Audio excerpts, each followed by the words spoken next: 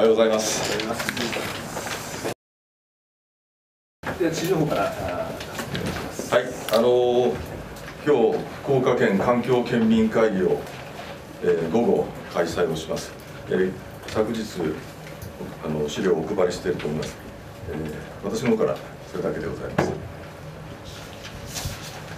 今日の県民会議では知事の方からどういうことを訴えられるメッセージを発しようと思いますあのー、今大事なのは東日本大震災によって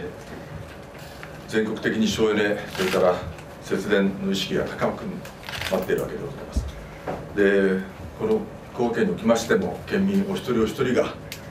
省エネあるいは節電の意識を持ってですねそれぞれの立場で具体的な行動に結びつけてもらいたいとそういう思いを込めたいと思っております。からこれから夏場でございますんで、えー、いわゆる冷房需要高くなってまいります。お一人お一人がですね意識を持ってエネルギーあるいは電気のいわゆる効率的利用に努めてもらいたいとそういう思いで今回このタイミングで開かせていただいております。それから、えー、個人のそういった取り組みというものにはインセンティブがあった方がいいという思いがありまして今回電気につきまして、昨年度の7月から189 3ヶ月今詳細をどういう形でやるかって詰めておりますけれども前年その同期移築でいくのか同月の積み重ねでいくのか今ちょっと詳細検討中でございますがそういった昨年度に比べて改善をされた方々はですねある種のその応募ができるようにしておいて、えー、その結果、まあ、抽選になるか少なければそのまま当たるかもしれませんがいろんなあその記念品とか商品をお渡しをする。それから協力企業のいろんな商品やサービスが受けられるようにすると、まあ、そういったことを今日ご提案をしたいと思っております。今おっしゃったインセンティブというのはですね、はい、今のところまあ検討中ということですけれどもどれぐらいの規模でとかあるいは協力企業がどれぐらい今認めているのか。それは今日の会議の結果でできると思います。あのずっと声がけをしてきていまして、えー、電気の使用量に着目する。それからえー、県庁としてもいろんな商品が用意できればする。それから、えー、協賛企業協力企業というものを今募っておりましてその輪が広がりつつあると。ですからこれから途中でもまだ広がっていく可能性もありますから今日お願いしてできるだけ多くの企業に協力していただきたいと思っております。それでは各社質問をどうぞ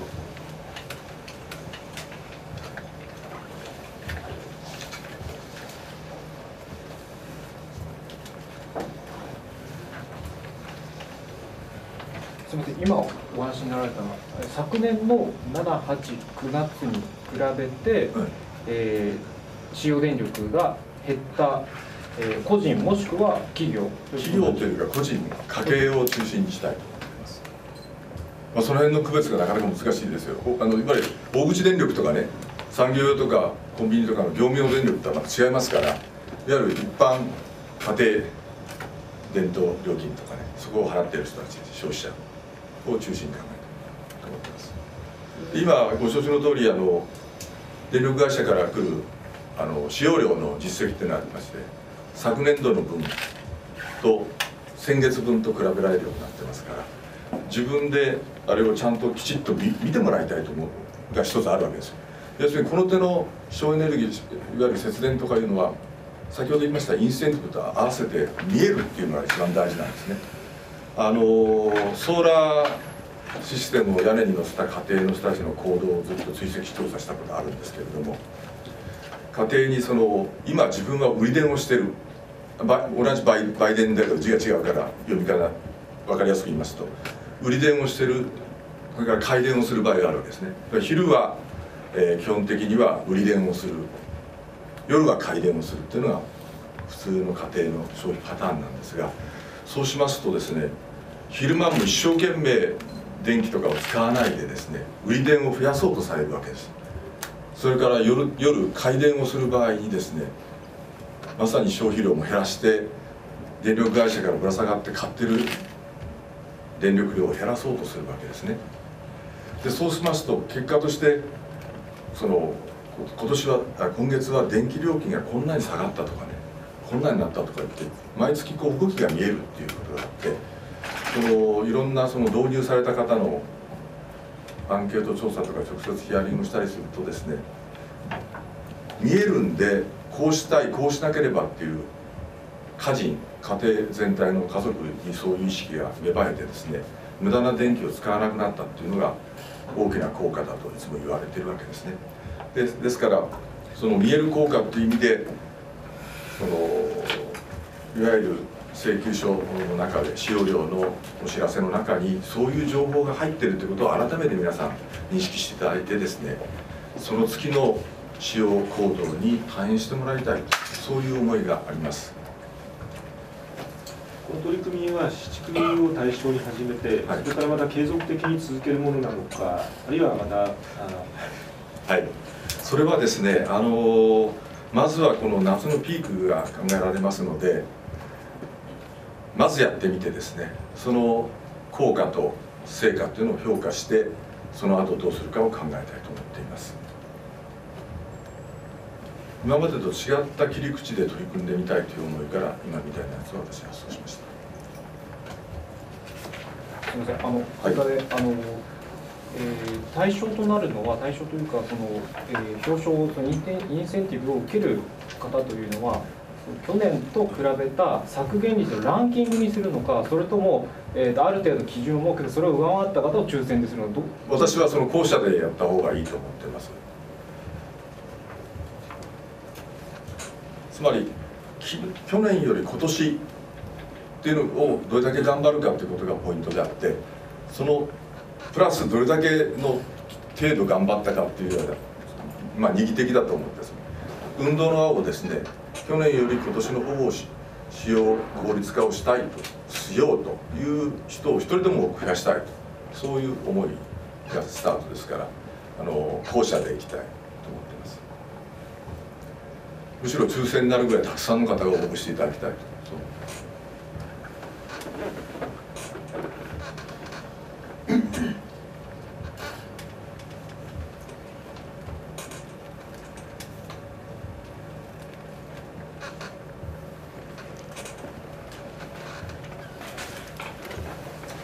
昨日知事も出席された九州地域戦略会議が決議したのアピール文の中でですね、はい。えー、日常生活や産業活動を支える電力の安定供給ということが盛り込まれておったんですけれども、はい、あのただ文書にあのその安定供給をどうやって具体化するのかということには触れてなかったんですが知事はそのこれからのその九州に必要な電力の安定供給というのはそのどういう手段でどうやって、えー、実施されるべきものなのかというあの電力はいわゆる国民生活とそれから産業活動。要するにもう電気のない産業活動って今もありえない状況になっています。その大きな2つの分野を支えているという意味での基礎的なインフラになるわけですからその安定供給というのは不可欠なわけですね。でそれをどう達成するかということなんですが一つは今ある原子力発電所の問題いわゆる現に電源構成の中での一定の割合を占めているわけです。この現実があるわけですね。で原子力これは安全性を確保しながらどうしていくのかっていうのが一つ。それから2番目はいわゆるいわゆる石油火力と言われたところですよね。ですからこれは原油と LNG とあると思いますが環境問題からいくと LNG の方にが要するに望ましいということになると思います。あとは石炭火力があります。それから新エネルギーというものがあります。それが供給サイドの大きな4本柱だと思います。で新エネルギーについては従来以上に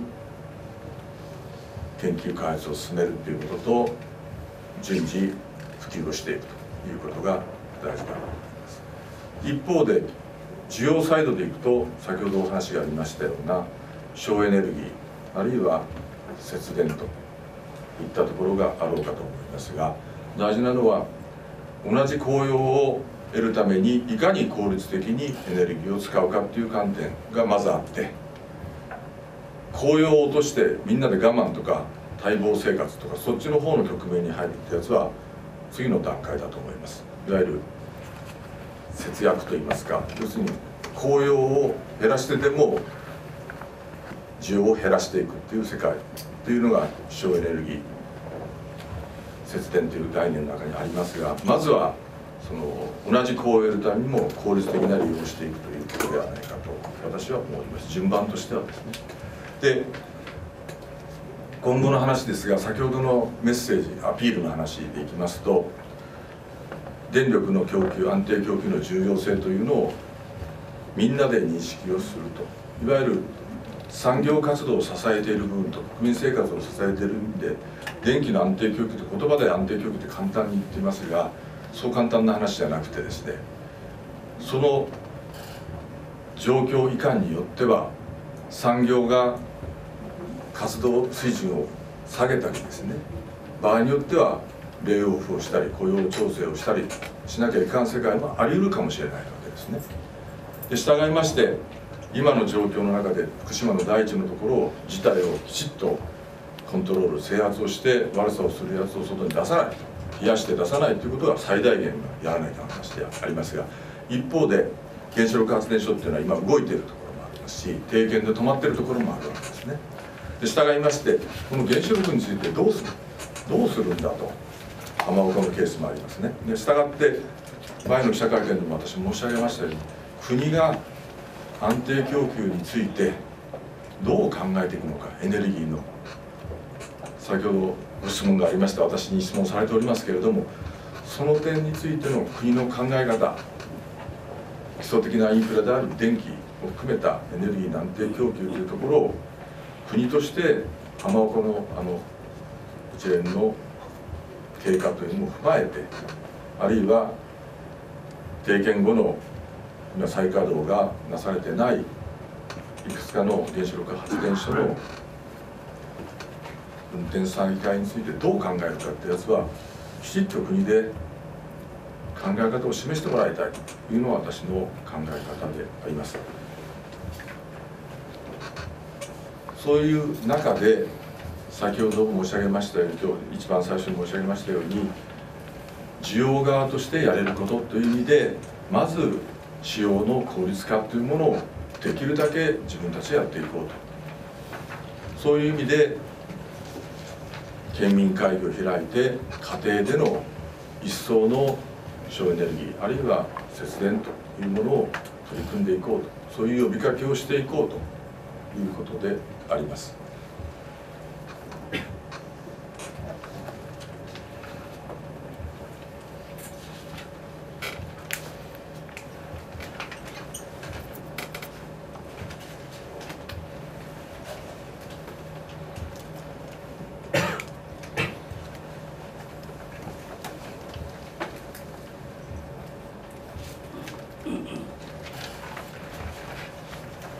他にありませんか今のに関連してなんですけどもあの昨日のあの戦略会議で、えー、低炭素社会に向けたあの、えー、九州モデルの,、えー、のアクションプランが提示されましたがあの福岡県として知事としてはどんなことを具体的にやっていこうかというお考えがあるんでしょうか？はいあのー、まず私は関係者の意識を今まで以上に、えー、高めてもらわなきゃいけないと考えていますで一つは先ほど言いましたように県民お一人お一人の家庭でのいわゆるエネルギーの使用の効率化電力も含めてですねそこを考えていただくという意味で新たな一歩を踏み出せないかっていうのはさっき言いました。それからいろんなセミナーとか講習とかをやってよく今の状況を知っていただくそれから自分たちの力でその事態が変えられる部分もかなりあるということを皆さんに広く認識していただきたいなとそういう思いがありまして講習会とかセミナーとかいろんなことをやって中小企業の方に対してはですねそのそういった講習とかやった後個別の相談をですねやらせてもらってで場合によってはその工場の中にあるいは事業所の中に専門家が入ってもらっていわゆる診断をすると。でその診断結果を踏まえてアドバイスをすると。指導をすると。そういった形で草の根的にですね個々の消費現場で効率的な利用というものを進めていきたいというのが一つでございます。それからもう一つは新しいそのエネルギーの分野のいわゆる開発あるいはその導入普及のタイミングをなるべく前倒しにできないだろうかという思いがあるわけです。今ご承知の通り福岡県はあの水素エネルギー社会を世界に先駆けて実現していきたいということで水素エネルギーいろんな形で実証等をやっているところでございますがあの新日本製鉄でコークスガス炉から出てくる複製ガスが必ず出てくるわけね水素はね。で従ってそれを街中に直接供給をしてそれをいろんな形で利用できるということを実証しようとしてるわけです、えー、定置型の家庭でいろんな施設でそれを使ってみる実証する。それから移動移動移動の利用形態でいけばフォークリフトとかやったりしますからそれからアシスト付きの自転車もやってるし自動車もあるわけですね。それからこの前ご説明した、えー、燃料電池スクーターというのをやっておりまして自動車とかスクーターは2015年、えー、いわゆる本格的に市場に出すべくメーカー各社は努力をされているわけですね。そのためにも我々がやってる実証試験というものをきちっとやってその成果を踏まえながら魅力のある商品化いわゆる市場で買ってもらえるような商品をメーカーには開発していただいて販売をしてもらいたいという思いがあります。水素は、えー、エネルギーの安定供給というのと環境と両方、まあ、解決をする手段の一つであるわけですね。で従いまして水素エネルギーというのは我々今までの、えー、やってきた実績成果がありますからその上に立ってそれを加速するべくなしはそれを確実なものとすべく頑張っていきたいと思っております。それからえー、っとあと何かな。新しいモデルの中でいきますとアジアの低炭素化とかですね環境保全というのが課題になってますが福岡県北九州市福岡市それぞれの技術の蓄積あるいは産業の集積があるわけです。従いましてそのあれを使ってアジアの環境問題の解決に貢献するとともにこちらサイドで言えばある種のビジネス展開ができると。ウィンウィンの関係を作れるんじゃないかと。この分野については力を入れたいと思っています。ハノイ市と福岡県というのはそれから中国は江蘇省ですが協定を環境協力協定を結んでおりましてそれをベースにいろんな交流人の行き来あるいはミッションの派遣が行われているわけでございますがハノイには今年の3月にミッションを派遣しまして、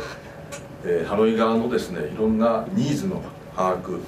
発掘というものをやってきたわけです。今それを詳細分析してましてどういう内容どういう分野でどういう形の協力あるいは共同ビジネスが展開できるかってやつを今全検討しているという状況でございます。でその進捗状況に合わせて関係の企業あるいは、え、専門家というものを相互に派遣し合うとかですね次のフェーズに移っていけたらと思っております。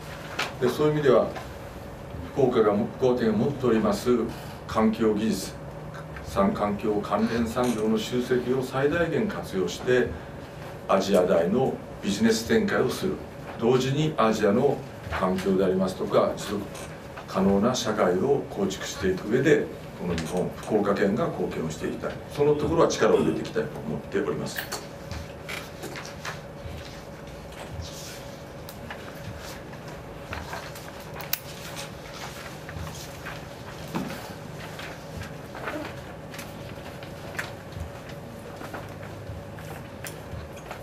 他にないようでしたらこれで会見終了します。はい。よ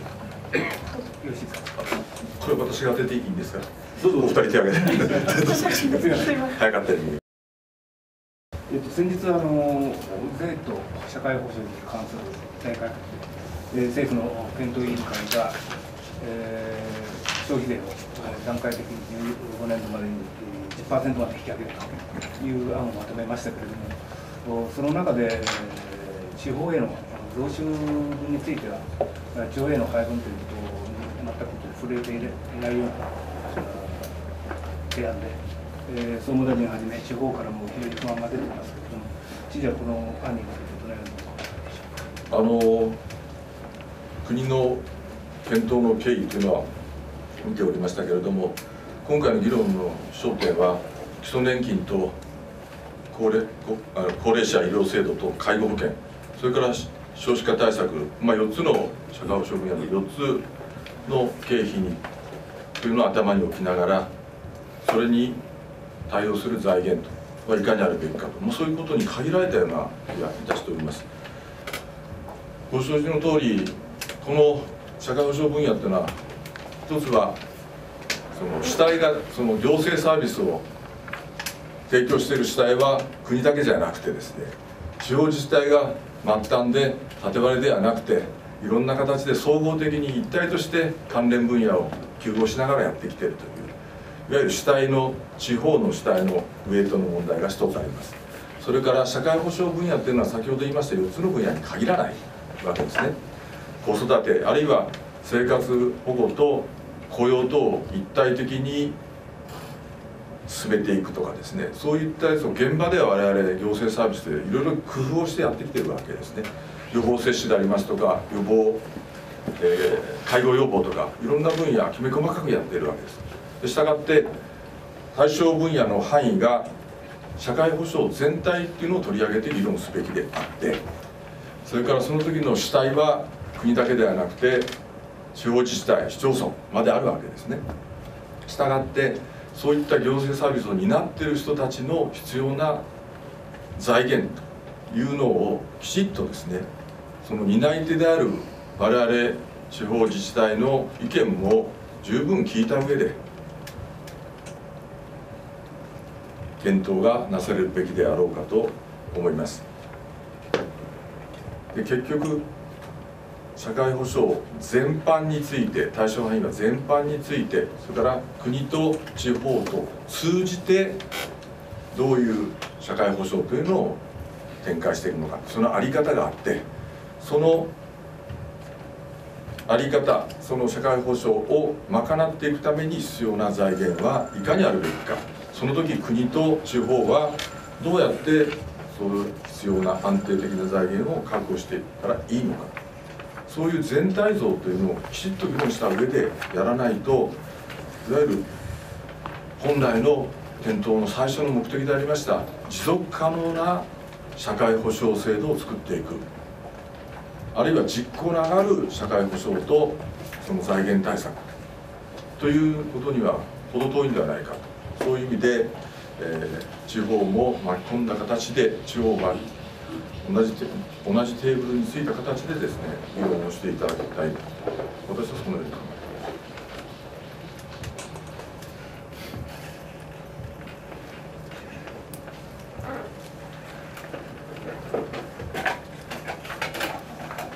すあどうぞすみません防災計画についてなんですけれども、はい、昨日その後あ3県で非常級の会合をされてえー、今後どういうふうにですね県の防災計画の見直しというのを進めていかれるのかというのを、えっと、昨日福岡市の方では専門家を集めた会合を開いたりとかいろいろ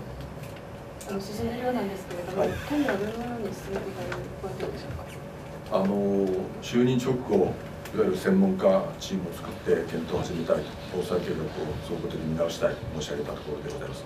今5月に設置しました専門チーム専門班を中心に見直し項目それから課題の整理というのがほぼ終わったところです。でそれに見合った人選をを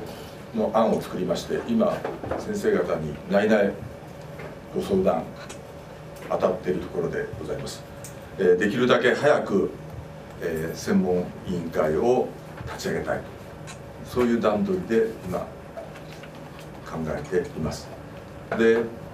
この前、えー、高島市長と松本糸島市長が来られまして、えー、お話をさせていただきましたがあの時私の方から福岡市と北九州市とそれから両政令市と糸島市がそれから県と、えー、一緒になった、えー、連絡会議課長連絡会議をやりましょうということで合意がされておりますんでその会合を今月の下旬にも開きたい第1回開きたいということを一つ動かしているわけです。それから、えー、昨日今お話がありました、えー、福岡佐賀県福岡県長崎県3県の担当部長会議がありましたので、えー、そこでいろんなあの広域避難それから情報と知見を共有しながらやっていこうということで、えー、合意されておりますのでそういったことを頭に置きながら我々の作業も進めていきたいということでございます。具体的に言いますと原子力について言えばね佐賀県立地県いろいろ議論をされているわけです。ですからその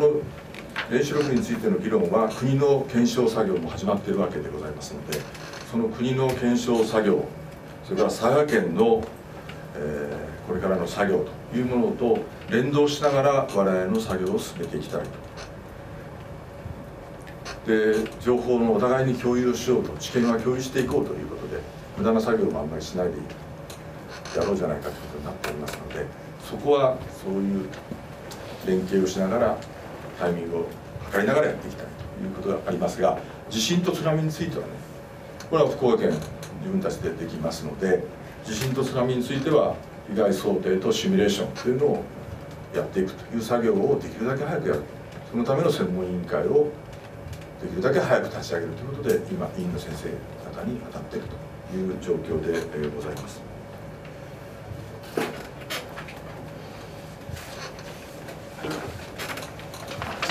はい、それに関連してもし可能ならその地震と津波の被害想定とかそういったことを検証する検討するような委員会というイメージになるんでしょうかあのタイトルはどうするかは別としてですねその専門委員会の中で先行的にやっていく作業が地震と津波だろうと私は考えてましてでその作業と原子力万が一の原子力の災害だから事故といった場合のやつを加えていくあるいはその中で複合的なものになるかどうかってやつはその時に考えていくとわゆる被害の想定もうこんなことが起こりうるんじゃないかっていうものと被害の想定それにどうするのかっていうのを総合的に、3点セットを総合的にやるけど先行すべきはどういう災害がつまり想定されるかというところの根っこの議論がありますよね。この地域はこういうのは起こりえないということなのか起こりえるというのか起こりえるとすればどんなことが起こりうるかそれが一番最悪の場合はどういう規模のものが起こりうるかっていうやつのその想定とシミュレーションまあシミュレーションした結果想定をするっていうか専門家が具体的な、えー、詰める詳細は私は分かりませんけれども各分野の専門家の方々がそれぞれの知見を持ち寄られてこの地域ではこんなことがあるのかないのかあるとすればどんな形なのかその際どんな被害が出そうなのかでそれに対して行政はどう対応していったらいいのかと、まあ、そういった手順になろうかと思います。でそれを地震津波のやつをずっとややらせてもらってその中で原子力については国の検証作業と佐賀県のいろんな作業も進んでいくということの中でこう連動しながらそれに加えていくという形で考えたいと思っております。大学の先生とか大学の先生とかぐらいになるとかいうのは、はい、何人ぐらいの規模になるみたいなのがあります今人数どれぐらい？10人？14名14名ぐらいになるそうです。要するに各それぞれの分野の専門家の先生というのを念頭にいろいろ話を今までそのお願いする人だけに話を聞いてるわけじゃなくていろんな先生に伺いながらどういう形で進めたらいいかっていうことをその中でこの先生方にお願いしようということで今も当たっているという状況です県内の自治体の課長会議を開くの今月下旬ということですが、はい、その委員会も今月中に発足することできればという感じですか？できるだけ早くやりたいと思いますけど先生方のご都合はねあのメンバーは確定できるかもしれないけど実際に開かれるのは、まあ、できるだけ早くやりたいと思います。それとすみません、合わせて、えーと、先ほどの電力の関係で、まあえーと、国の考え方と意向を示してほしいというのを、まあ、改めて、まあ、知事おっしゃったわけですが、まあ、そうおっしゃる中で、まあ、1か月ぐらい、国の意向をお聞きしたいというのがかってきて、その一方で、あの県民に対してまあお願いをすると。まあ、その当然省エネ、省エネとか節電は、まあ、いいことなので、お願いするということがすごく大事なことだと思うんですが、あの国に対してこう県としてですねやっぱりこう見える形でこうお願いするとかあともしくは宮殿に対してですねやっぱこうちゃんと安定供給が可能なのかどうなのかっていうところのこう、まあ、確約というわけじゃないですけれど見える形でしないとこう県民に一方的にお願いをするように見えてしまうんですがいかがでしょうか？あのー、国に対しては昨日の知事会あるいは地域戦略会議もそうなんですけれどもいろいろ要請注文つけてるとかやってきてるわけですよね。だからそこの中に私も入ってるっていう状況それから九州電力に対してはいろいろ申し上げてきて今までも申し上げてきてるわけですけれども今の段階ではその7月っていうか夏の初めの頃までは大体電源なんとかなりそうだということをおっしゃってますけれども一度上がればね数十万キロワットと範囲がちょっとアワーなのかありますけれども飛ぶわけですよね。予備率はいっぺんに飛ぶ可能性あるわけですね。一度で。ですからそういう意味では我々としてやるべきことをやっておかないといかんであとはその限界の2号3号の話がいわゆる定見が終わってそれを再開再起動するかどうかというところは安全性の問題をどうするのかっていう国がですね今週でもまた保安院が説明に佐賀県に来ると私は承知しておりますがそういう中で佐賀県側あるいは地元それから我々知事会もいろんな形でものを申し上げてきてるのを受けて国として回答あるいは限界を述べに来られるんだろうと思いますのでそういうことの中で事態は進んでいくと私は思っておりますけどね。つまり国がどう動くかってやつをね。少なくともこういうことにならないように例えばこう最低限福岡県としてはこういう主張をしておくとかこう国の回答に待つんではなくていや、まあ、っていうのはないあのいやでですから安定供給を確保していくと。エネルギーの安定供給といった時にどういう形で供給していくかというところでいくと九州電力はその代替電源を含めて安定供給を目いっぱいやるやりますと言って努力されているわけですよね。でけれども気温とかなんか上がることによってあるいは今後のある一定時期以降の代替電源の燃料が確保できるかどうかっていう問題があるわけですよね。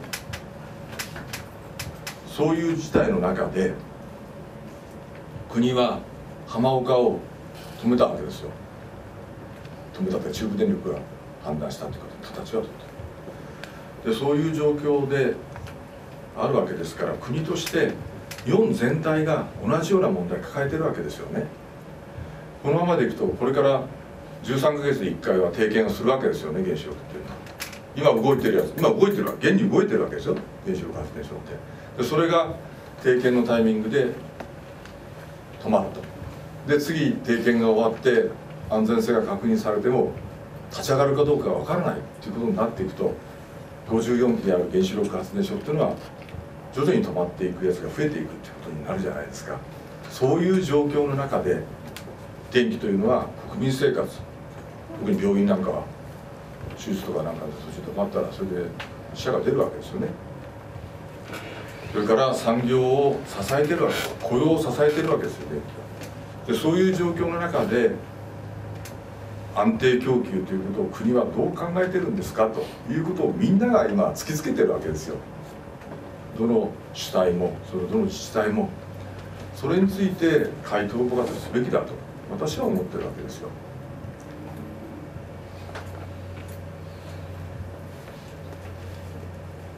でそうは言っても自分の力でできるところはやっていこうということで県民の皆様にできる省エネは目いっぱいやりましょう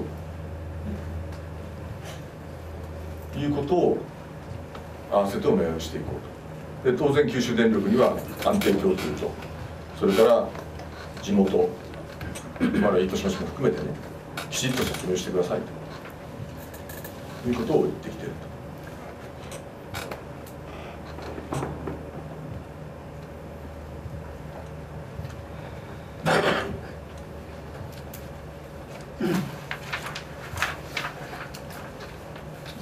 いえー大震災の復興と、それから原発事故対応についてですね、えー民主党と自民党を中心にした連立構想を重視していますけれども、これについて、岸田どのように考えですか？はい、あの東日本大震災で、まあ、大きな困難に直面しているわけですが大きくまあ極論で言えばね震災からの復旧復興というのはひとときの猶予もないということが一つそれから原子力発電所も言わずもがなという状況があると。これに対してきちっと政府対応していかないかんし復旧復興は国を挙げて取り組んでいかなければならない課題と。で国会の中で考えますとねいわゆる第二次補正予算それから全体のいわゆる公債法ですよね。財源になります公債法。これが大きな課題としてあるわけです。でそういう中で今、まあ、ねじれてるわけですよね。で従いまして一時の猶予もない大きな課題が山積している中で政党を超えてですね協力をしていくと大同団結していくことは選択肢の一つとしては大連立というのはあるかと思います。ただ私が思いますのはそれは何かを解決するためにやる手段であってですね。それが目的化するような形でいろんな議論が進んでいくっていうのはあんまりよろしくはないんじゃないかと思っておりまして結局どういうテーマでいつまでにどういう形で協力するか、まあ、それは連立になるのか連合なのかいろんな形があるかと思いますがそういう意味ではだ大連立も選択肢の一つだと私は思っておりますが大事なことは早く混乱が収集してやるべきまた山積している課題の解決に取り組め取り組んでいく実際に解決を見ていくなしは事態を前に進めていくということが大事なんでそこの点についてのいわゆる協力の内容あるいはあの時期いつまでかとかですね。その辺をやるならやるで早くやってもらいたいと手段であるわけですが目的ではないわけですからと私は思います。結局テーマでもタイミングでもこの際国民のために国のために勝利を捨てて大道をつけるかどうかというところは国会の皆さん問われてるんだと思います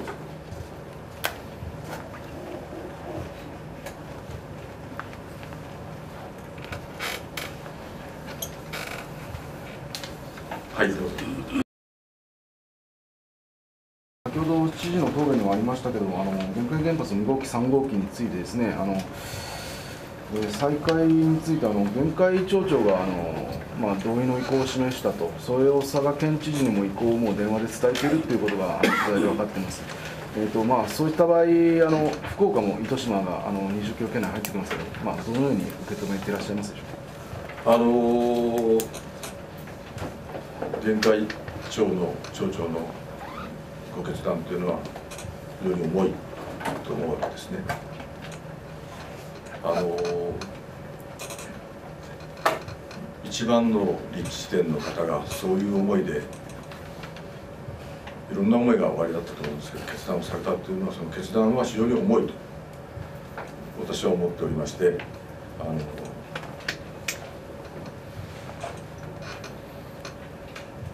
今こう先ほどから議論になってますけどどことなくこうすくんじゃってる状況があるわけですよね。でそこの局面を変わっていくきっかけになればいいなとその変わるきっかけの一つになれば持っていけばいいかなとは思いますある意味での苦渋の決断だろうとは思いますけれども勇気のある決断だし。私としてはその地元の直接の立地自治体のお考え方考えっていうのがそれも踏まえて周囲の地域の方々もお考えいただければいいなという気がします。それも踏まえてお考えいただけるのではないかと思います。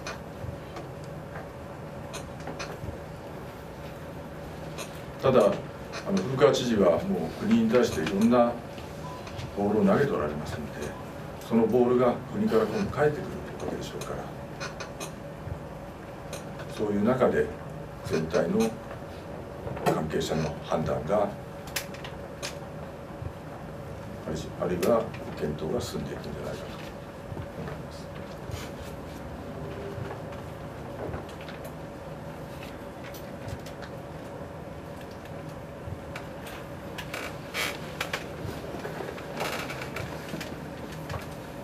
他にありますか？あすみません最後一点だけ確認させてください冒頭のおっしゃったあのインセンティブだけなんですが、あの家庭にあの提供される記念品それからサービスは協力企業を募ってその協力企業から提供してもらうということになるでしょうかあの協力企業からあの商品あるいはサービスを提供していただくというものとそれからあの県としても記念品みたいなものを考えたいと思っております。よろしいですか？ありがとうございました。